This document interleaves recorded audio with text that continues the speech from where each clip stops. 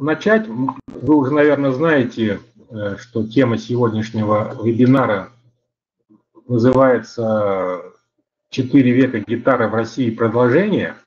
Э, просто прежде чем начать, я бы хотел узнать, вот вы можете написать мне вот раз в этой в нашей группе, кто, бы, кто слушал предыдущий вебинар, чтобы я знал, насколько глубоко погружаться или, может быть, наоборот, не погружаться в тему того первого вебинара «Просто 4 века гитара в России».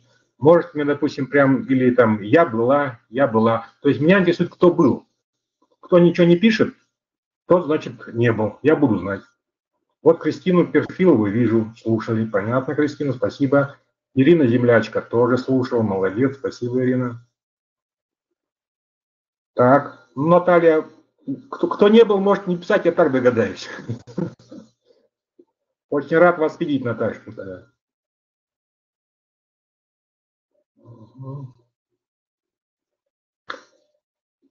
вот Наталья Гулина была у нас на прошлом вебинаре, просто чтобы знать. Наталья, можете просто написать, слушали, не были. Так, Светлана Магнитская, рад тебя видеть, Света, здесь. Тоже, Света, напиши, пожалуйста, была на вебинаре предыдущем или не была, чтобы я просто знал. Так, Оксана, понял, я знал, что вы там. Так, вот, Мария, да, приятно, приятно.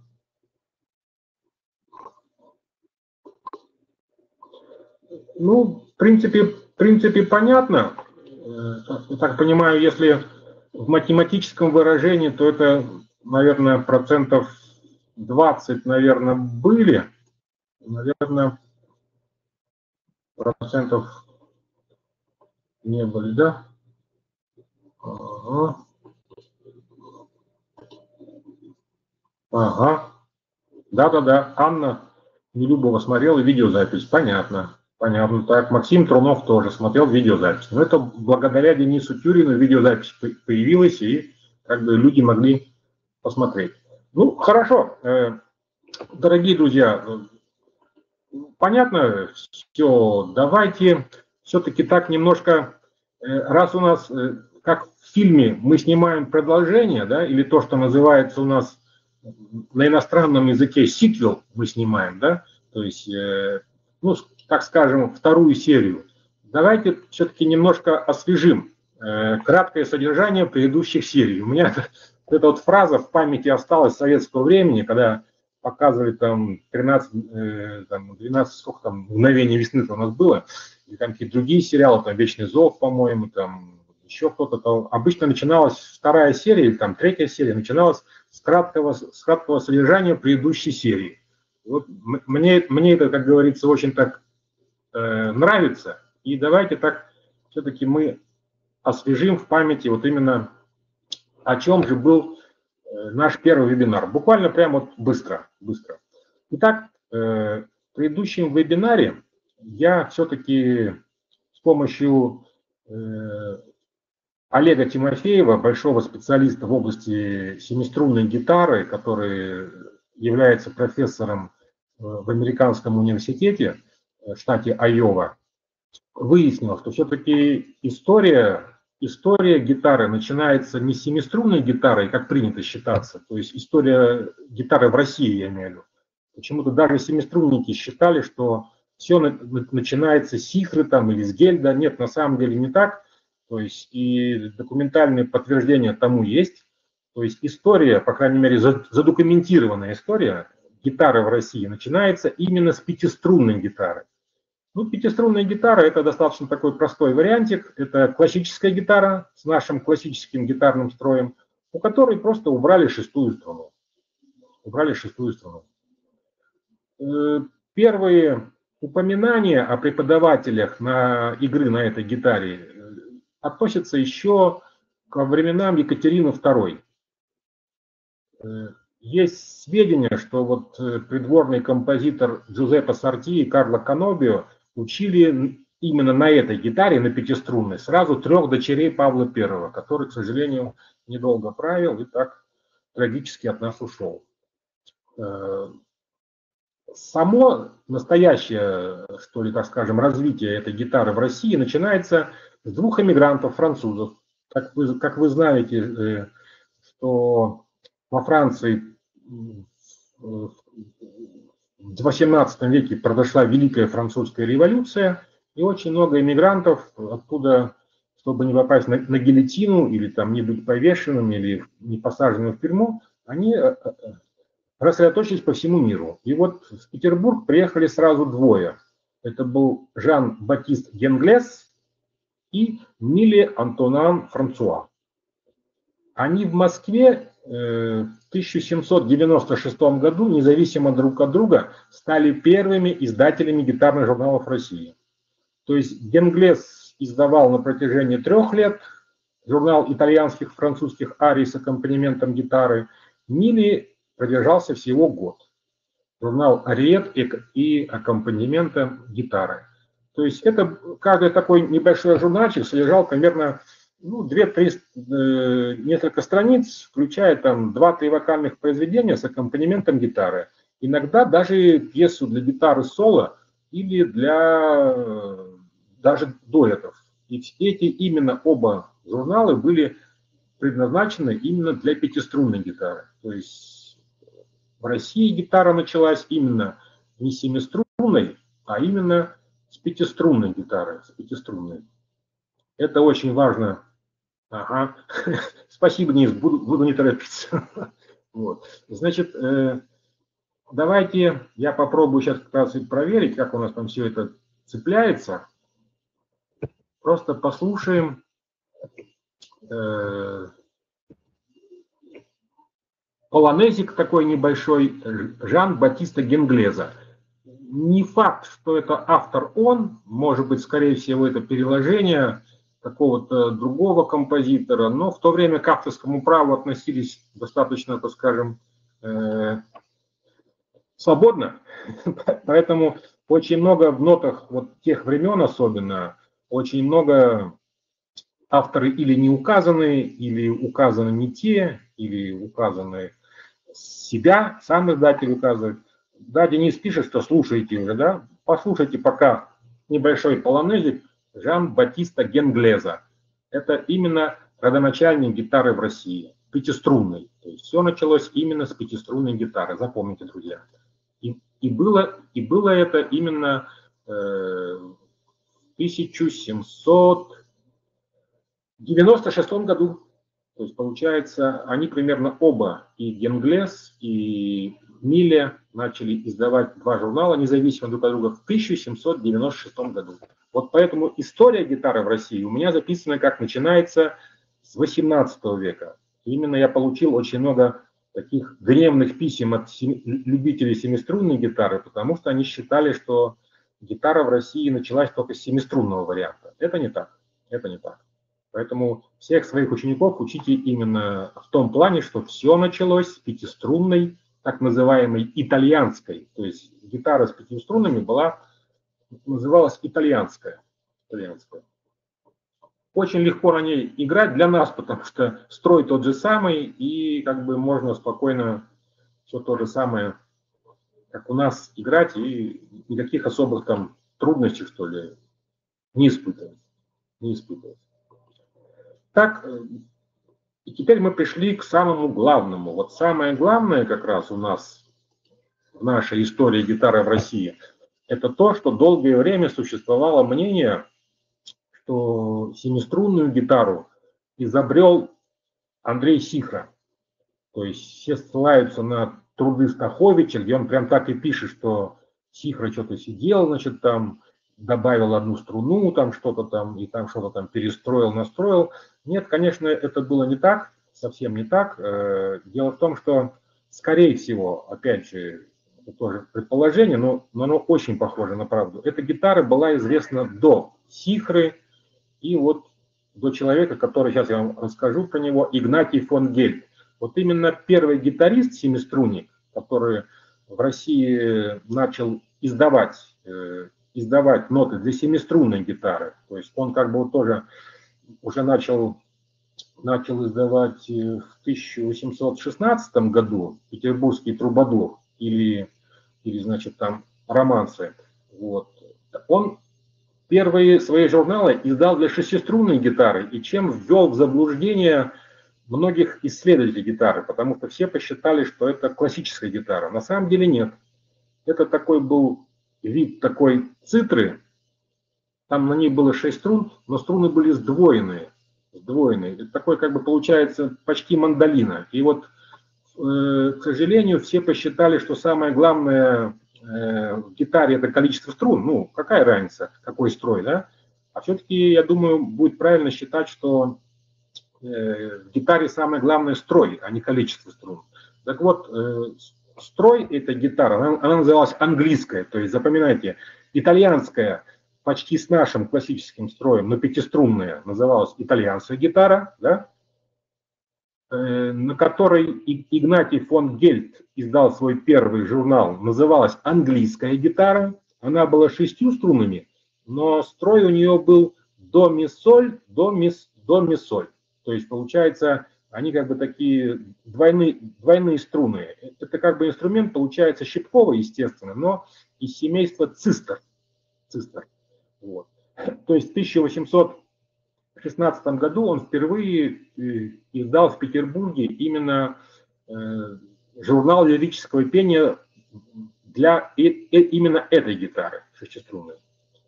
А уже по-настоящему для семиструнной гитары у него вышел сборник э, в 1816 году. То есть и, и вот считается, что именно с Игнатия Гельда Игнатия Гельда, именно и началось, началась ну, популяризация этой семиструнной гитары в России. И самая первая школа, которая появилась именно в России, была именно школа Игнатия Гельда. Она была издана на французском языке в 1798 году. Вот. И считается, что, ну, опять же, люди, которые в основном опираются на какие-то документы, факты, считается, что все-таки даже он, не, не только Сихра, а даже Игнатий Гель не изобрел семиструнную гитару. То есть просто этот строй где-то сам появился по, ну, что ли так, географически, скорее всего, считается, что в Восточной Европе, Польша, которая в то время была частью, естественно, Российской империи, да, может быть, там, Чехия, Чехия, причем, что интересно, э, все-таки Гельт, он был чех, чех, так что, может быть, где-то со своей родины он там все это привез. Ну вот, именно документальное подтверждение имеется, что именно с Игнатия Гельда началось, началось развитие семиструнной гитары, гитары в России. А сегодня про Сихру я расскажу, но уже, естественно, расскажу про Сихру как с точки зрения, что не он изобрел семиструнную гитару, и пусть на меня не обижаются не обижаются поклонники именно теории, что все началось с Сихры. Сихры. Первым был Гельт. Об этом забывать не нужно. Ну и в той нашей первой серии нашего сериала «Четыре века гитара в России» я закончил э, очень интересной личность. А, ну естественно, давайте, как же мы про Игнатия Гельда-то рассказали, а я вам ничего не прицепил. Надо же почтить обязательно, обязательно память этого великого человека, благодаря которому и мы с вами, и мы с вами, как говорится, играем на гитарах. Ну вот давайте я вам поставлю, поставлю ронда. Опять же, не уверен, что это ронда его, может быть, ронда чье-то, его переложение, но опять же у него это не написано. Итак, Игнатий Гельт, ронда. Музыкальная пауза, как говорят у нас, да, в передаче «Что, где, когда». Послушайте, пожалуйста.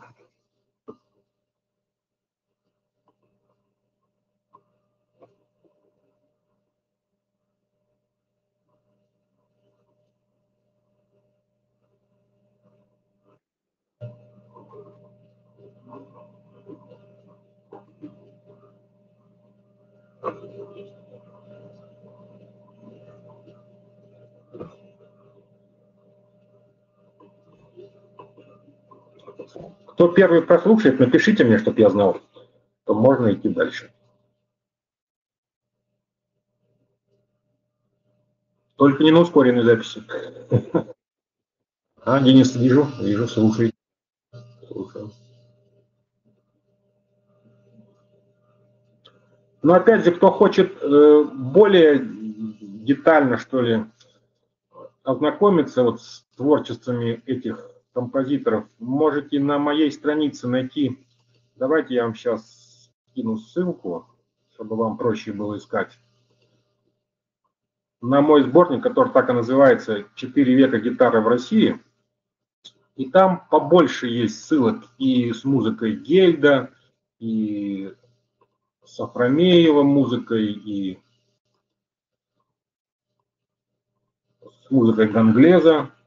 Вот. Так что там потом, после, после вебинара, кому будет интересно погрузиться в эту тему более глубоко, можете послушать вот там, по-моему, и Гельда штук 10, ну 9-то точно пьесов есть, и Жан-Батиста и Миллен там поменьше, потому что меньше, у них меньше было пьес для соло-гитары, у них все-таки в основном была такая специфика. Да, Кристина, мне тоже эта ронда понравилась, но опять же не уверен, что это Гельт сам. Хотя, может быть, может быть, вполне возможно. Вполне возможно. Вполне возможно. Вот. Да-да-да, да, Денис. Э, спасибо, Галина, да. Ронда правда хорошая. И, в принципе, оно легкое. Вот, э, вот э, понимаете, я никогда не думал, что начну этим заниматься, потому что как бы я больше сам, кто знает мою музыку, все-таки э, знает, что я немножко сторонник другой музыки, да, такой более веселый, такой джазовый, да, какой-то такой полурок-н-ролльский такой, да, такой немножко хулиганский, я бы сказал. А вот меня эта тема заинтересовала, потому что я вырос в советское время, когда все сборники были просто забиты переложениями семиструнных гитаристов там, прошлых, прошлых лет, да, но они были такие какие-то сложные, неудобно играемые на шестиструнной гитаре, что никакого желания, что ли, их разбирать не было. И вот когда я уже отработал в музыкальной школе 32 года на тот момент, да, я почему-то захотел вернуть вот эти имена, забытые, но без которых просто нельзя представить историю нашей гитары в России, да, но я захотел их вернуть именно э, в программу детских музыкальных школ. Я поэтому вот, э, когда все эти архивы-то просматривал, проигрывал, я старался выбирать именно тот репертуар, который можно играть детям. Потому что, естественно, там у того же Гельда, там, у, естественно, у Сихры там, и прочих гитаристов, у них очень много сложных пьес, э, виртуозных, которые в музыкальной школе никогда ну, просто, верно, не, не, сыграет только единица из ста, а может даже из тысячи. Вот поэтому я искал эти пьесы, которые можно было ввести в школьный репертуар, в детской музыкальной школы, чтобы эти имена остались именно навечно, именно в памяти наших детей. Там, Гель, там, Афромеев, Милле, там, да, Ганглес, Сихра, Высоцкий там, и прочее, прочее, чтобы вот именно наши дети их поиграли. Итак, про Афромеева Денис очень верно заметил. Самая, пожалуй, трагическая судьба то есть э, Алексей Максимович Афромеев, он э, русский гитарист-композитор и педагог, и в основном, конечно, издатель. Сам, как я понимаю, он все-таки был в основном таким, ну, самоучкой, как гитаристом, да, но он очень любил это дело, просто, наверное, был фанатом, как никто, семиструнной гитары, и стал издавать ноты для семиструнной гитары. То есть вот он издал э, школу для семиструнной гитары Сырцева, Потом в его издательстве было опубликовано аж 250 аранжировок для, для гитары тоже, того же Сырцева. То есть он в основном ориентировался именно на любителей гитары.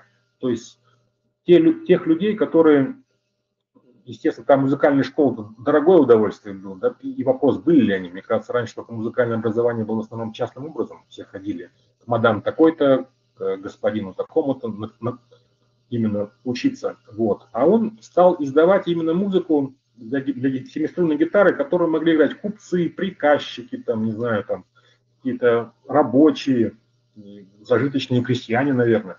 То есть он очень большими тиражами издавал свои эти э, сборники. В 1906 году ему такой наш известный тоже издатель э, Русанов Валерьян передал, значит, э, право на, на публикацию журнала «Гитарист». И Афромеев назвал его музыка гитариста, потом переименовал в аккорд вестник гитары, народных инструментов и общественной жизни. И до 2014 года эти журналы просуществовали. Тиражи были огромные, потому что, не знаю, как вот вы, но я даже не занимаясь в то время еще темой вот этой э, семиструнной гитары, гитара в России, мне постоянно попадались эти сборники Афромеева. Я почему так сразу заинтересовался им, потому что мне постоянно не попадались. Они были очень такие распространенные по всей России. И вот по, по легенде даже сам Владимир Ильич Ульянов, Ленин, в Шушинском, чтобы не скучать такой, со своей ссылки-то, он изучал азы игры на гитаре именно по сборникам самого Афромеева. Вот не знал об этом Афромеев. Может быть, что-то другое бы туда подкинул. Потому что в чем, чем трагедия Афромеева? Это был на самом деле фанатично преданный гитаре человек. Он был первым в России издателем, который платил гитаристам э, за изданные ноты в своем издательстве. Это была такая смелая попытка. В то время это как бы не, не практиковалось, считалось, что тебе за счастье быть опубликованным, а он платил. Вот. Ну, чем его такой был секрет успеха? Естественно, как вы сами понимаете, издавать ноты хоть тогда, хоть сейчас достаточно дело такое убыточное. Но Афромеев был молодец, он параллельно занимался изданием торгово-рекламной всевозможной продукции. Он издавал сибирский торговый посредник, Ермак, э, значит, он, он издавал даже на политические темы газеты «Свободное слово». Как я все, думаю все-таки, что Афромеев, как и многие наши интеллигенты той поры, с восторгом приняли Великую Октябрьскую социалистическую революцию, и, к сожалению, все были раздавлены этим красным колесом, который, как так э, очень точно характеризовал Александр Александрович Солженицын. Афромеева, к сожалению, постигла та же самая участь. Ведь за все эти годы, которые он проводил такую свою деятельность, у него накопилась огромная, огромная библиотека нот очень редких, да, э, то есть э, коллекция, коллекция дорогостоящих гитар, около 200 штук, представляете себе? 200 гитар. Ну, понятно, что человек был не бедный, скорее всего, да. И когда все это началось, естественно, все это было национализировано, типография была изъята, и все рукописи, все издания период так называемого бумажного голода, голода в 1919-2020 году были переработаны на бумагу. Наверное, чтобы печатать там декреты, постановления, прочее, прочее. Афромеев, естественно, гитары тоже, я так понимаю, может быть, даже на растопку ушли. Афромеев уехал в Томск сирой и босой, потому что, к сожалению, это судьба всех русских интеллигентов, которые так восторженно все это восприняли, революцию, и, к сожалению, все закончили очень плохо. И он попал в качестве бухгалтера в одну из, из коммун, вот, и, как, опять же, по одной из версий из, источников, которые сказал, рассказал его сын, вот, то налисоповали, тогда же всех этих э, бывших интеллигентов перековывали, советская власть занималась перековкой, чтобы они почувствовали говорили, что такое быть пролетарием. И на лесозаготовках, то есть человек, который ни разу не занимался физическим трудом, был отправлен значит, на повалку леса. Ну и, скорее всего, там надорвался и прочее, и э, в 20 году в Томске он умер от перитонита. Перитонита, так скажем, да? И причем умер в полной нищете, полной нищете и забвении. То есть вот такая трагическая судьба людей, которые так хотят, хотят, чтобы все преобразования в, в любой стране происходили быстро, революционным путем. Потому что люди, которые приходят на этой волне, обещают, что вы будете жить лучше, но они при этом не говорят, что может кто-то и будет жить лучше, но вас уже, может быть, и не будет. Вот. То же самое все произошло именно с нашими интеллигентами.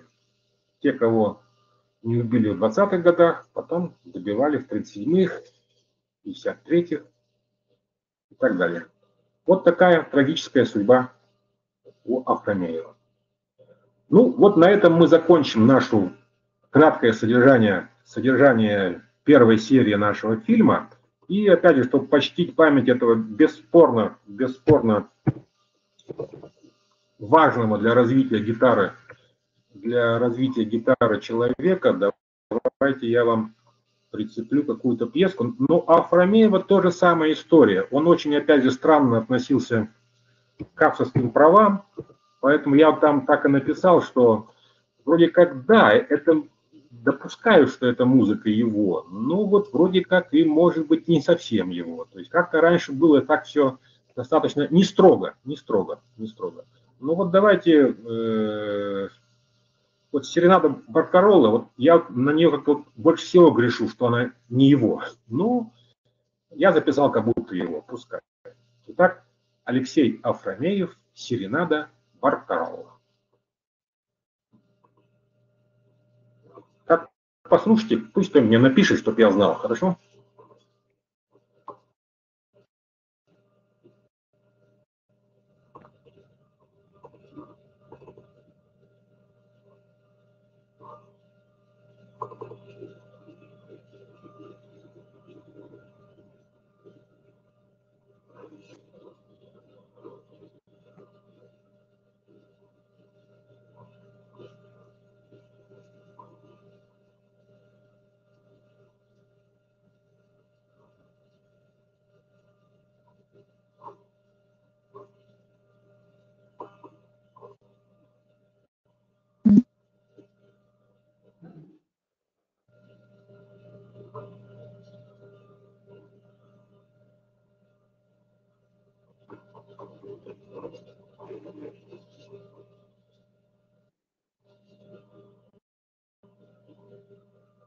Да, Денис, да. Ну, если бы он был, конечно, профессиональным композитором, то как бы можно было допустить, что это просто стилизация. Но все-таки он не был профессиональным композитором, и, конечно, все-таки, наверное, с большой, большой долей вероятности он просто не указал автора. Ну, я просто, чтобы почтить память этого человека, я в сборнике все эти пьесы пометил его фамилии, но сделал большую сноску, что все это именно с большой натяжкой, большой натяжкой. Я так и написал, что, скажем, обработки русских народных песен не вызывает сомнений, что это, скорее всего, он.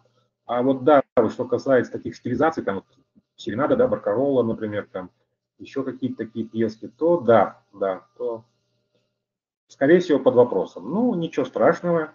Я это сразу оговорил, оговорил в ссылке, оговорил в ссылке. Так что моя совесть в этом плане, в этом плане чиста, чиста. Ну, этот человек на самом деле достоин того, чтобы о нем помнили и не забывали, потому что это был на самом деле подвижник гитары. Он сделал ее популярным, популярной просто во всех, во всех, так скажем, э, как это называется, где там аристократы и, и не аристократы, разночинцы, во всех слоях общества, вот так скажем, да, он сделал ее популярной во всех слоях общества. Так что решил я, пусть будет, пусть будет. Ну, а которые будут исследователи после меня, я думаю, они найдут реального автора и меня исправят. Я в то время меня уже не будет, я не обижусь.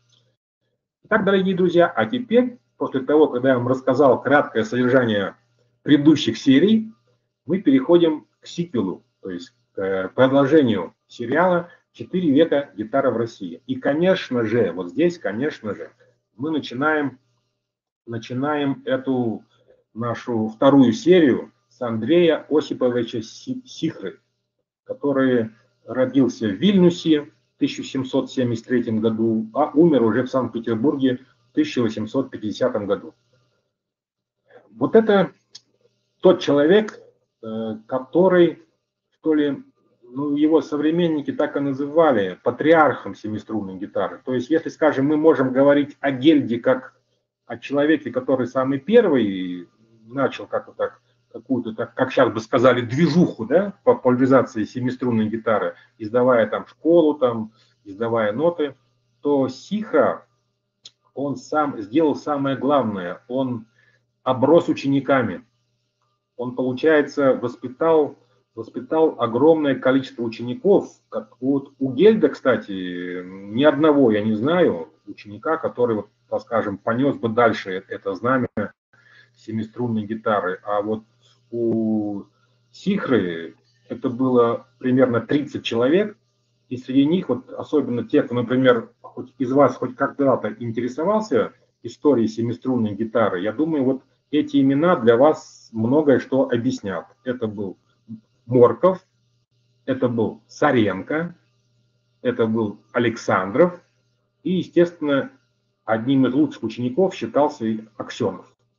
Аксенов очень для нас важен, потому что э, он такой перекинул мостик следующему гитаристу, про которого я расскажу после Сихры, э, который вот именно очень тоже важен для нашей, для развития гитары в России. Значит, он был чехом. Получается, Гельд был чехом и Тихра был чехом. Такое совпадение. Но в отличие от Гельда, э, Андрей Осипович уже был таким достаточно виртуозным арфистом. Он был арфист. У него отец был такой известный педагог, и он готовил его для, для карьеры арфиста. Он сихра есть, там даже какие-то афишки, по-моему, он уже играл сольные концерты как арфист-виртуоз. Наши известные исследователи, не буду называть их фамилии, объясняют переход с арфы на гитару, ну что ли, так скажем, коммерческими помыслами. То есть понятно, что арфа большой, огромный, дорогой инструмент, его могли купить себе только, ну, всяко небогатые люди, там, ой, наоборот, богатые, богатые люди. И якобы, значит, Сихра прочувствовал всю эту такую ситуацию. это опять же, это такие, ну, что ли, немножко такие какие-то легенды, так скажем и понял, что только гитара может расширить его, что ли, так, рамки, как, и как исполнителя, и как педагога, поскольку гитары стоили недорого и были такими демократическими, что ли, инструментами, и вот он как бы поэтому перешел. Но я думаю, это, конечно, одна из легенд, злопыхателей там или кого-то еще. Я все-таки думаю, что у него все это было по любви. По любви. Он считается именно основателем русской гитарной школы, хотя, конечно, Гельд является первооткрывателем всего этого и всей этой штуки, но как бы вот а, Андрей Осипович все-таки является таким э, основателем, потому что школа без учеников не школа. У Гельда была школа, но не было учеников. У Сихры, конечно, тоже в конце была школа, такая достаточно много критических тоже высказываний по ней было сделано. Но самое главное, он оставил у своих учеников. Это, я считаю, самое главное достижение. Он уже в 1802 году начал выпускать в Москве э, журнал для семиструнной гитары. Также он примерно в эти же годы издал свои экзерциции. Это очень такие известные, виртуозные, такие, будем сказать, как этюды, да? Вот. И теоретическую практическую школу для семиструнной гитары. И посвятил ее своему ученику Моркову. Моркову. Вот. Получается, Э, музыкант, поскольку он был арфистом, арфистом, то, естественно, у него была такая склонность, что ли, к арпеджио. Он, он вот именно э, в основном э, был такой фанат именно такого арпеджирования на гитаре, когда аккорды там красивые, с обертонами там. То есть это его прошлое арфиста, оно так просто, наверное, не ушло. И вот что мне больше всего понравилось, э, отмечают его современники, как раз, кстати, до сих пор эта проблема и среди нас, педагогов, очень э, актуальна. Да я и сам грешен в этом, что греха таить. Э, дело в том, что Сихра, как никто другой, обращал внимание на аппликатуру правой руки. Вот когда я был э, молодым, очень молодым, и я впервые приехал на западный э, гитарный фестиваль международный, я вот там с одним педагогом познакомился, и он тогда, вот это, это были 90-е годы, для меня это было как так, ну, тоже очень так, ну, странно. Мы все были помешаны на аппликатуре для левой руки, там, потому что все пальцы расписаны, там, все струны расписаны. А он говорил тогда еще мне на фестивале, что, Олег, а вы знаешь, а ведь как-то неправильно мы идем. Ведь пианисты же играют двумя руками тоже, и они же расписывают подробно и работают над аппликатурой же и левой, и правой руки, а почему же гитаристы вот все там помешаны на левой руке, а сами, значит, на правую руку, как придется. И вот Сихров, как раз благодаря тому, что он был арфист, добивался от своих учеников вот именно большого внимания к аппликатуре правой руки. Это меня очень так это самое, очень так порадовало, порадовало. Ну, конечно, меня все равно это не убедило. И я, наверное, так же, наверное, как, как, как и вы все, все-таки в основном с учениками работаю над аппликатурой в левой руке, потому что, как ни крути, дай бог с левой разобраться, а правой самое главное, чтобы два раза, два раза, чтобы одним пальцем не играл. И я считаю, что это и уже будет хорошо, и уже будет хорошо. Значит, э, что еще хотелось бы отметить про Андрея Осиповича? Он был, естественно, очень виртуозным гитаристом, потому что если, например, опять же, даже судить по одним вот этим его экзерсициям или другим его произведениям, то там просто чтобы, чтобы это все сыграть, ну, нужно быть очень хорошим гитаристом, на самом деле, очень хорошим гитаристом. И он, вот, я думаю, был этим гитаристом, потому что, опять же, очень много попадалось мне афиш с его концертами, прочими, прочими. И вот что интересно, э, получается, что мы сейчас с вами узнали, что, значит, два эмигранта француза были самые первые, кто издавал гитарные журналы в России, да, но у одного журнал просуществовал один год, да, а у другого, значит, там два года, да. У Гельда там, по-моему, тоже журнальчик годика три, по-моему, просуществовал, да. А вот у Андрея Осиповича, получается, значит, э, получается, ежемесячно выходил журнал в течение 12 лет. И в общей сложности было выпущено 144 выпуска журнала. Вы знаете, это надо еще посмотреть в истории, а кто там у нас смог, кто смог 12 лет издавать гитарный журнал и выпустил 144 выпуска этого журнала. Так что в этом плане, конечно, господин Сихра это очень, очень такой интересный историческая личность для развития гитары именно авторских произведений его, авторских, э, считается, что это только в двух редакциях, куда он носил, 75 э, произведений, а вообще его, так скажем, послужной композиторский список, ну, сюда мы включаем не только его авторские пьесы, этюды, там, экзерцисы, но и, естественно, русские песни и обработки, то это включает в себя тысячу пьес. Представляете? Тысячу. Вот даже у меня всего 658, а вот у Андрея Осиповича тысячу. И вот понимаете, вот глядя на таких людей, понимаешь, что нужно к чему-то стремиться более высокому, чем останавливаться на достигнутом. Так что вот, получается, изучать историю развития гитары в России и современным гитаристам и композиторам очень, очень полезно. Сихра, конечно, еще и, как и тогда это было принято, очень много делал транскрипций и аранжировок э, музыки других композиторов, Штрауса, там, Вебера, Ланера. Очень много, очень много делал переложения э, арий из опер, потому что если, допустим, сейчас у нас все напевают там, ну, напишем, там, молод, молодой поколение всяких Моргенштейнов там, или Бузову, да, то тогда, естественно, петербургское общество напевало арии, затейливые арии из опер, которые там давали там театрах, там, или там пели на каких-то там концертах, прочее. Поэтому Сихра, опять же, был э, э, в русле этого времени и очень много делал переложений арий, арий из опер. Единственная претензия, которая как бы вот у меня тоже вот как бы к нему могла появиться, и некоторые некоторые исследователи этом обратили внимание, он почему-то считал, считал допустимым изменять ноты э, в песнях, э, в ариях из опер на свое усмотрение. То есть я считаю, что вот это, конечно, ни в коем случае делать композитор не имеет права. То есть ты можешь в своих там вариациях или там импровизациях делать все, что хочешь, это полностью твое право, но так скажем, отправная точка, если, допустим, ты играешь, скажем, вариации на тему там вополи березы стояла, то у тебя перед твоими вариациями тема вополи березы стояла, должна быть просто выверена, проверена академически. То есть, чтобы вот именно ни одной ноты, ни одной ноты не той в русской народной песне не было, чтобы каждая нотка была именно та.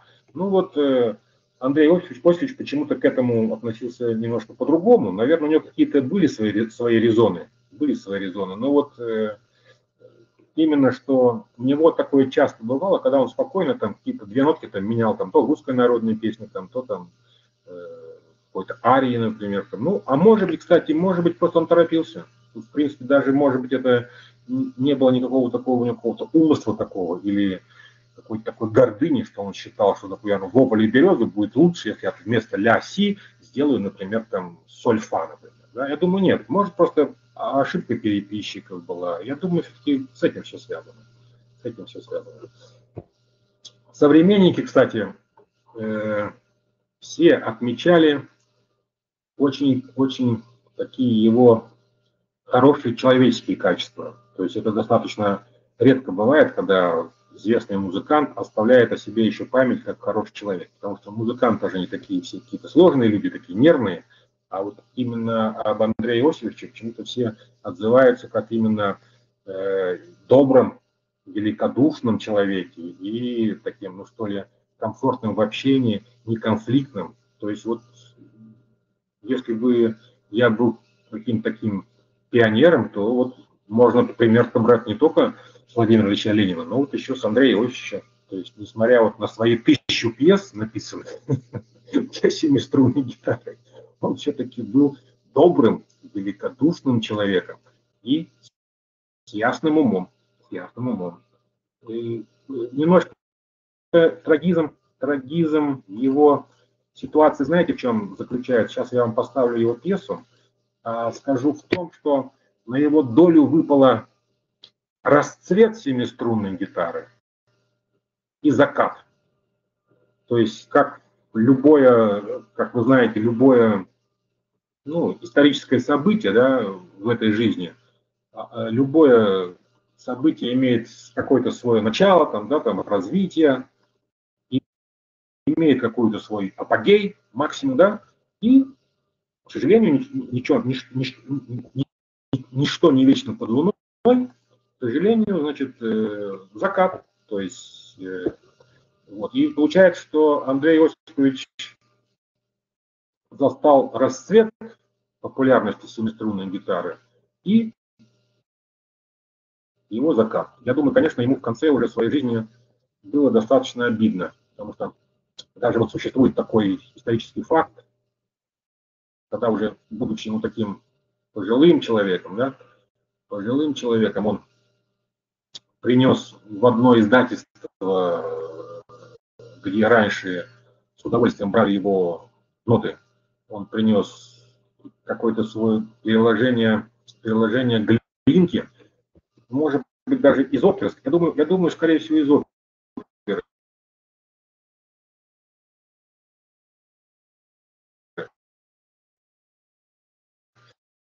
Из оперы для двух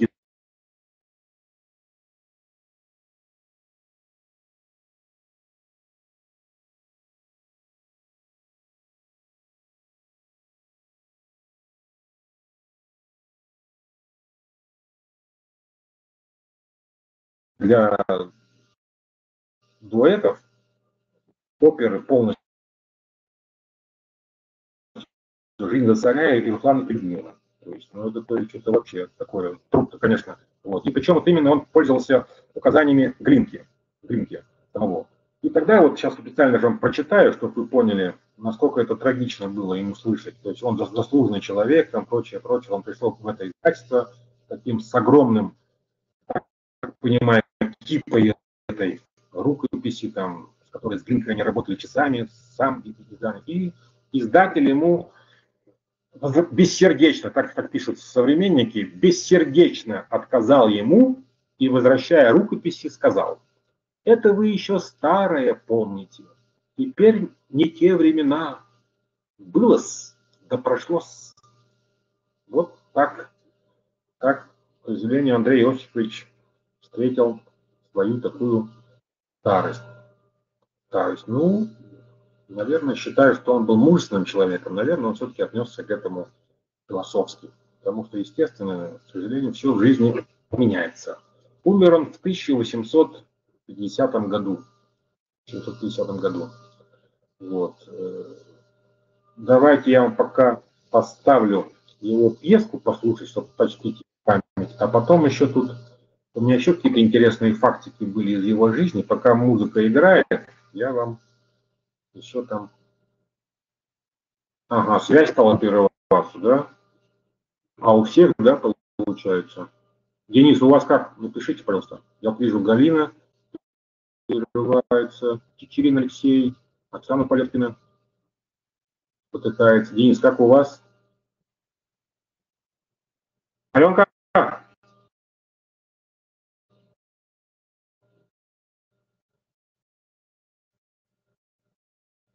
Свет! Свет! Аленка! Ну ладно, попробуем продолжать. Попробуем продолжать. Свет, все, выйти через интернет, все, все, выйти через интернет. Сейчас я попрошу, тут, наверное, у меня семейство, наверное, в интернете, может быть, в этом вся причина. Сейчас я попрошу всех выйти из интернета, и, может быть, может быть, мо, мо, может быть, будет лучше. Хотя что-то, конечно, не уверен, что в этом дело. Что, что в этом дело. Ну, давайте пока поставлю вам пьесу «Тихо». Да, может быть, и, и, и ВКонтакте, кстати, может глючить, да, тут даже, может быть, и дело не в моем модеме, вроде как никаких проблем не было. Может быть, даже и ВКонтакте запросто глючит. Так, ну давайте я вам сейчас поставлю.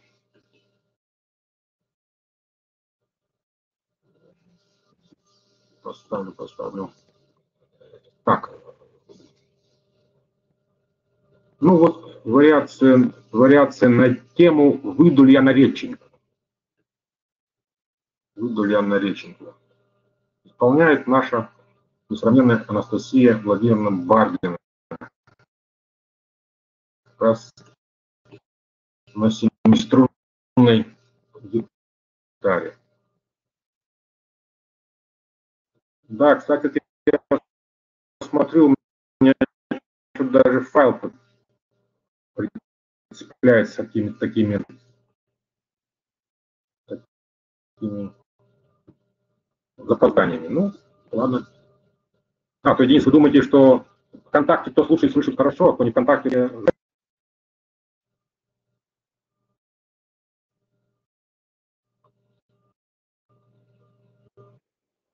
Да, вот даже что-то файл почему-то так долго, долго прикрепляется. Может, правда, какие-то какие-то какие сбои ВКонтакте идут. Ну, давайте пока послушайте, а я сейчас быстренько освежу в памяти. Тут еще были пару таких интересных моментов из его жизни Андрея Мустовича.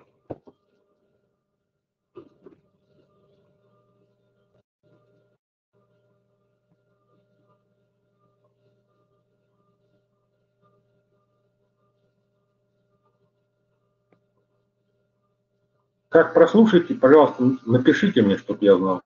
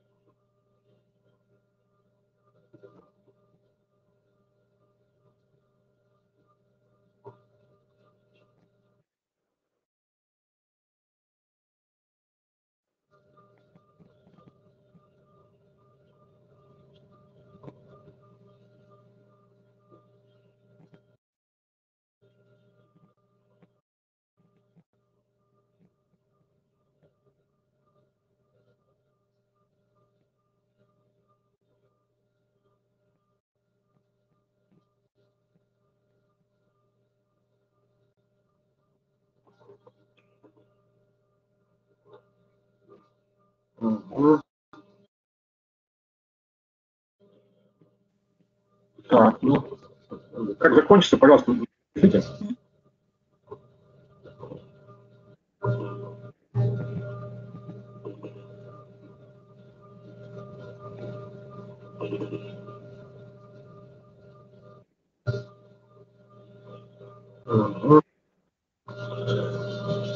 Ну вот тут такой еще любопытный факт. Э, любопытный такой факт. Вот исследователи, которые исследователи гитары, которые пришли практически уже после Сихры,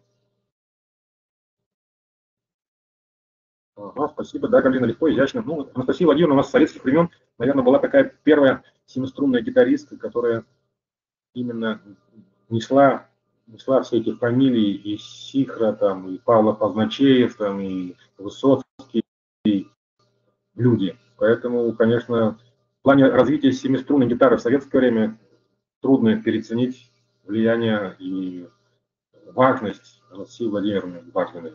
Ну и как педагог в Гнесинке, естественно, если перечислять только одних ее учеников известных, то это, наверное, нужно будет специаль, специальный вебинар делать. Поэтому я, я нашел эту запись, чтобы вспомнить и Сикру, и Владимиру Бармину. Так что таким, одним выстрелом, как сразу попал. Э, ну вот, что еще про Сихру было интересно. Современники, которые пришли после него, они, конечно, все отмечают, что, естественно, он был сам гитарист высокого уровня, естественно, да, но считают, как они считают, наверное, у них есть такие на это основания, что он на каком-то периоде своей э, карьеры решил все-таки полностью себя посвятить своим ученикам. И вот, э, глядя на то количество пьес, каких-то там таких серьезных произведений, который он посвящал своим ученикам, там, и, и Аксенову, там, и э, другим ученикам. Исследователи считают, что развитие как композитора и как педагога в основном было обусловлено наличием таких хороших учеников. Тоже, в принципе, я считаю, имеет место быть, потому что, я думаю, вы все прекрасно знаете, что если когда в вашем классе появляется очень хороший ученик, там, заряженный на занятия, готов там часами сидеть там за инструментом, выполнять все ваши желания, то вы как педагог как будто тоже просыпаетесь, потому что как бы немножко все-таки основной это уровень класса гитары такой достаточно, достаточно такой э, скромный, да, и педагог, погружаясь в эту скромность, и сразу начинает как-то так по-новому, по-новому работать и по-новому э, жить, ну, как, как педагог, я думаю. Ну и вообще настроение улучшается. То есть одно дело, когда э, с таким слабеньким учеником урок у тебя прошел, а другое дело, когда на самом деле с тем, кому это надо по-настоящему. Вот я думаю, поэтому э, достаточно точное наблюдение, что, скорее всего, Стихра был таким педагогом, который мог э, свои какие-то собственные музыкантские интересы э, растворить в интересах своих учеников. И вот именно благодаря такой пряди его сильных учеников, он как педагог и как музыкант, как композитор сам рос то же самое тоже. Так что я считаю, что, наверное, наверное, да. Наверное, да. Так, ну у нас остается что-то мало времени. Давайте все-таки я еще с одним вас познакомлю. Наверное, там мы потом спросим у Дениса, нашего организатора. Может быть, может быть, когда-нибудь мы сделаем 4 века гитары в России 3 потому что что-то я опять же, как всегда, приготовил материала больше, чем, чем смогу вам рассказать. Могу вам рассказать. Ну, э, давайте раз, как мы пошли от Сихры, то, естественно, начнем с его самого талантливого ученика Аксенова. Аксенова. Э, очень интересная личность.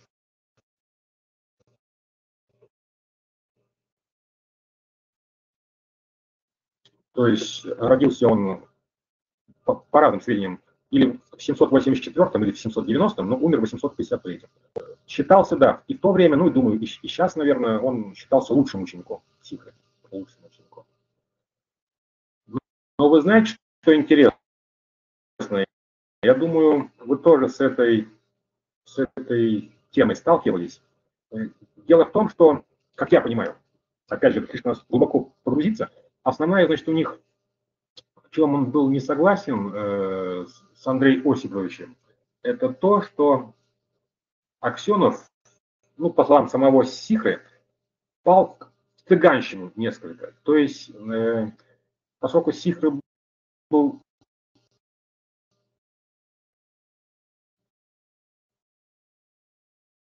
афистом, да, как я понимаю, он совершенно не использовал брата на гитаре. Вот. А Аксенов или, или попытался, по крайней мере, вести такой певущий стиль, э, когда вот именно там очень много там вибраций, там пропиваний, вот, э, легата такого, вибрата. И вот Андрей Осипович Сихра называл все это цыганщиной, цыганщиной. Но был вынужден считаться со своим талантливым учеником, вот, потому что у него была хорошая техника и прочее, прочее. Вот. И вы знаете, что интересно? Ведь то же самое произошло и на моих глазах.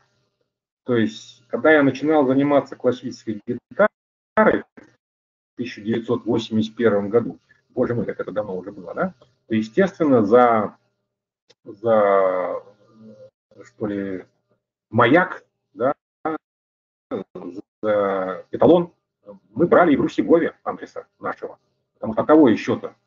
Ведь, во-первых, и фирма «Мелодия» пластинки-то выпускала, конечно, других гитаристов, но про Сеговию-то все читали, что Сеговия – это самый крутой. И поэтому, вот если, например, вы э, возьмете записи Андреса Сеговия годов 70-х, 80-х, то вы увидите, что вот именно Сеговия в своей игре приближался э, к скрипичной игре. То есть очень много легата, очень много брата, э, таких вот, э, что ли, фирмат, э, прочее, прочее. И долгое время, вот долгое время, это было считалось таким, ну, хорошим тоном. То есть мы как бы все, и кто учился на гитаре, и кто уже научился, будем считать, и уже играл на концертах, они в чем-то копировали стиль, стиль Сеговия. То есть как бы считалось, что гитара – это такая скрипка. Да? Потом, если я не ошибаюсь, все началось с Брима. Ну, хотя я могу ошибаться, мне кажется, тогда не было интернета, мы только ориентировались на записи. Мне кажется, Брим, не знаю, осознанно, неосознанно, ну, просто осознанно точно, а вот сформулировал ли он это, это осознанность или нет, то есть потом вдруг неожиданно мы услышали гитару фортепиано. То есть именно как гитара звучала как фортепиано, то есть минимум вибрации, минимум какой-то скрипичной техники. Вот именно такое мощное, такое э, полнозвучное фортепиано. И вот, скорее всего, вот здесь, между Сихрой и Аксеновым, произошло то же самое. То есть только здесь другая последовательность. У нас Сегове скрипач, а, допустим, Брим, ну, опять же, чисто условно, чисто условно. Брим пианист, да? А у них наоборот, у них, значит, э, Сихра был орфистом, ну, почти, почти фортепиано, да, то есть там анархи, сами понимаете, там где вибрирует, грифа-то нет, и его ученик, который, может быть, у цыган на самом деле наслушался, может еще, стал применять, значит, вот эти все э, нехарактерные для сихры, для сихры приемы, да. Но я все-таки считаю, что где-то истина посередине. То есть, да, гитара в чем-то скрипка, и гитара в чем-то рояль. И вот эту степень этих двух инструментов решает только музыкант и собственный вкус. Потому что, например, вот э, сейчас слушать некоторые записи Сегови, ну просто, допустим, вот современному уже натренированному уху на каких современных гитаристов, ну, просто невозможно, потому что ты думаешь, ну, как так можно было играть? Ну, это же как безвкусно, что ли, как-то неоправданно. И вот э, получается, вот, к сожалению, так. Но ни в коем случае нельзя при этом забывать, что если не было Сигови, то не было бы вообще ничего, не было бы вообще гитары классической в том виде, который мы ее имеем, не было бы без него. Поэтому вот такая штука. И самое это главное, опять же, вот что касается Аксенова, но здесь опять же нужно проверять очень точно. В то время его называли, что именно это он изобрел, он изобрел технику э, искусственных флажелетов. То есть, опять же, считают многие исследователи э, гитары в России – вот именно Аксенов изобрел игру искусственных пожилет. Понимаете, вот тут надо просто, просто серьезные исследования провести. Появлялись ли у классиков, у Каркаси, там, у Сора там, и у, у других тех известных гитаристов искусственные флажелеты. Вот составляя две хрестоматии, уже сейчас вторую хрестоматию составляя, и переигрывая большое количество Сора, э, Каркаси, там, Карули, я ни у кого искусственных жилетов у них не видел. Поэтому, в принципе, утверждение, что это, этот способ игры изобрел Аксенов, ну, вполне может, может как бы быть, может быть. Но опять же, это опять же большими оговорками, потому что здесь все очень просто.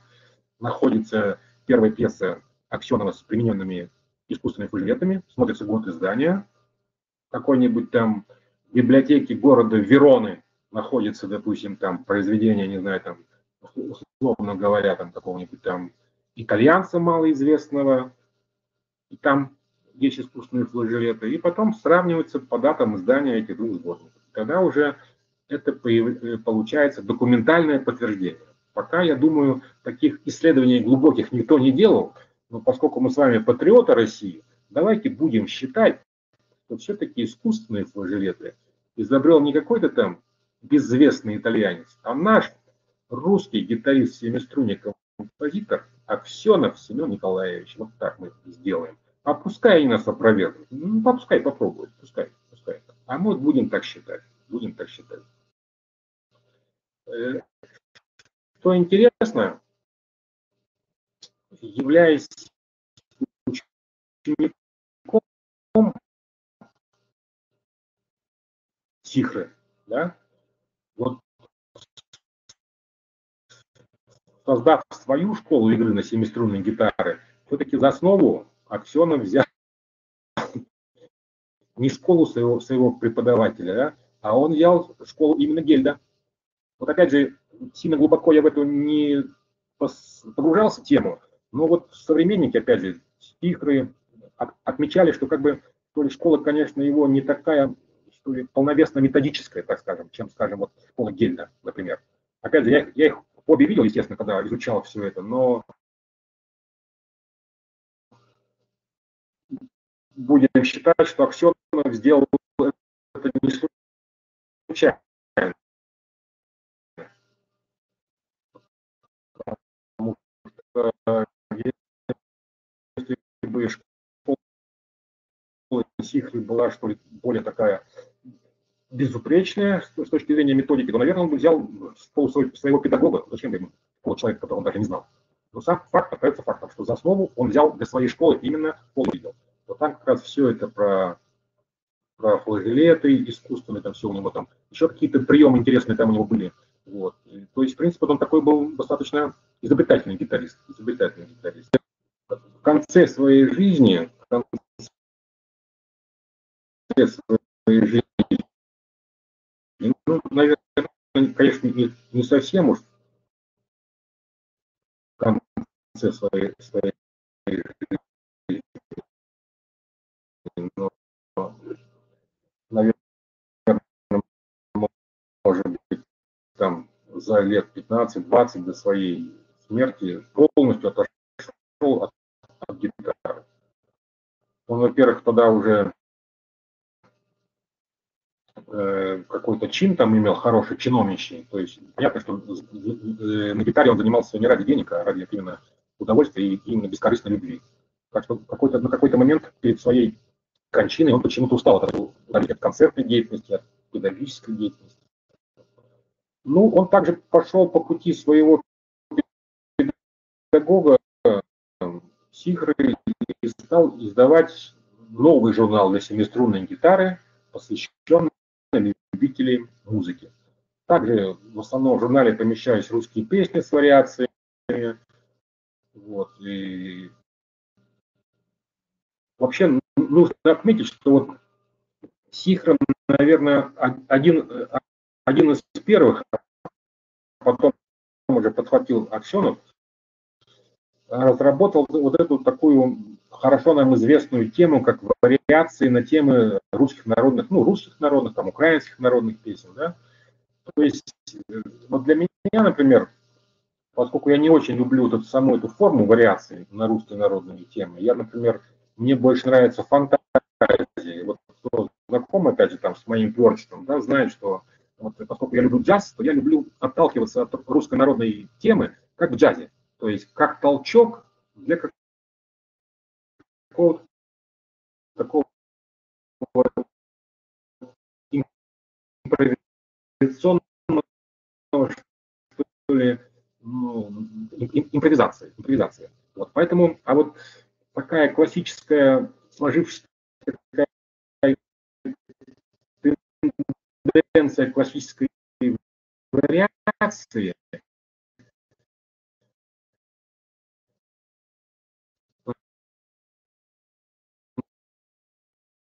народ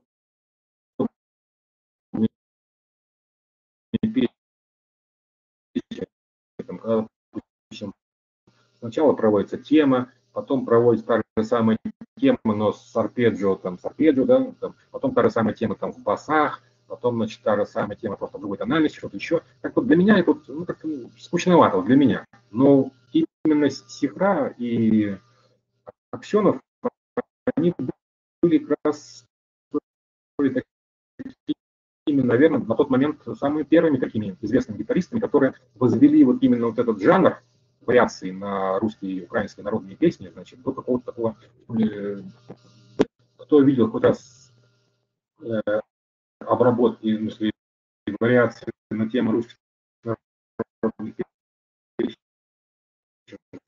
стихы или Аксенова, понимаешь, что там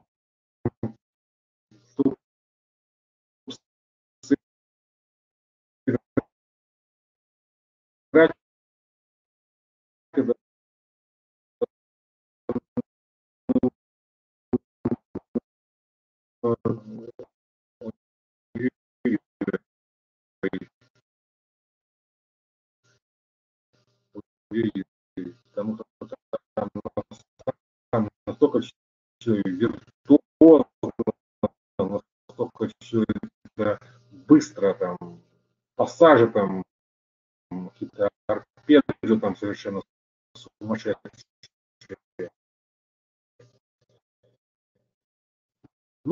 Есть, конечно, подозрение, что на семиструнной гитаре это все игралось легче. Ну, скорее всего, даже не подозрение, наверное, так оно есть, да? Вот но все-таки это на самом деле был такой очень, очень такие виртуозные два товарища, и мы должны ими гордиться, потому что на самом деле это, они этот жанр довели до какого-то такого совершенства. совершенства. Вот. Э, и вот что, что интересно, вот как раз про изобретение э, искусственных флажолетов, да, то есть э, журнальная Россия там, вот, допустим, отечественные записки, такой журнал был интересный, то есть э, литературный, даже он, э, значит, э, упомянул, что вот господин Аксенов, там, гитарист, да, чтение искусственных флажолетов в литературном журнале, ну, который совсем никак не относится к гитарному, расценивалось как крупное отечественное изобретение. Так что ну, мы с вами договорились, что на самом деле так оно и есть. Аксенов вел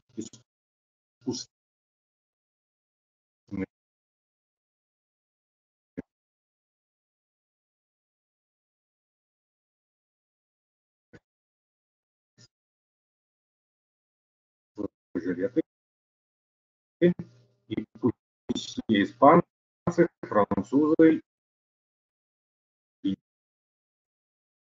немцы плачут. От зависти, конечно, от зависти. Ну, пусть пользуются, нам не жалко.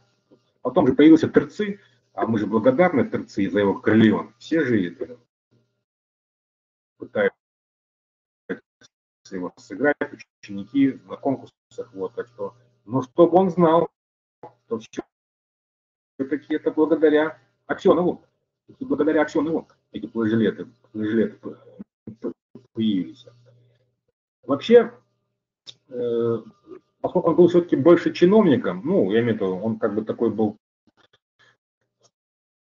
статусный, как у нас говорят, человек, да, то есть, естественно, он был очень близок к литературным кругам. И также состоял членом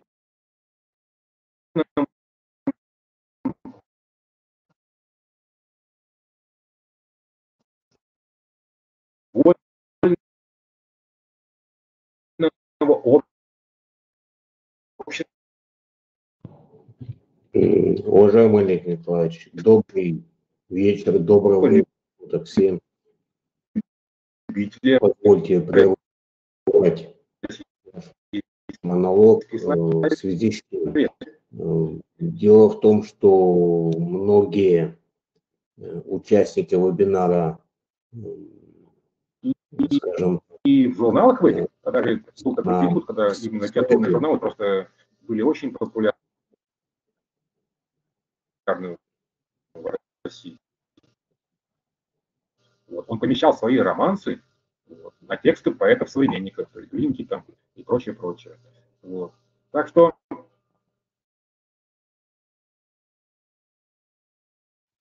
э, да, получается, сейчас кто там что-то написал, сейчас я посмотрю. Может, там Денис уже говорит, пора заканчивать. Но я все-таки, Денис, закончу про Аксенова, а там уж э, тогда уже, ох, связи нет, пишет это самое, да? Так, ну-ка давайте, есть у нас связь. Олег Николаевич, добрый день, добрый вечер, э, доброго времени суток всем участникам вебинара. Позвольте мне на правах организатора мероприятия выразить вам огромное, э, скажем так, э, чувство благодарности за то, что вы делаете и за ваше подвижничество э, в плане истории гитары. Я уверен, мы с вами встретимся, надеюсь, надеюсь, осенью, Олег Николаевич, и благодарим вас. Спасибо большое.